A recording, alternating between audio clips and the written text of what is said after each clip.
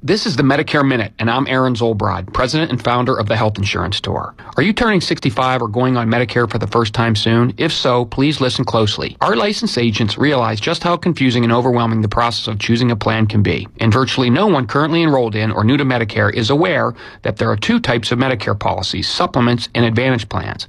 Understanding the many differences between the two is critical information. Consultations with the licensed agent at the Health Insurance Store are always free of charge. Since our inception in 2008, we have advised thousands of Medicare recipients. As brokers, we are able to provide plans from virtually every company on the market, ensuring unbiased advice. Choosing a Medicare plan without getting educated on all your options can be a costly mistake, but easily avoided by making the call to the health insurance store. Reach us at 724 603 3403. 603 3403 or visit us on the web at getyourbestplan.com. Getyourbestplan.com.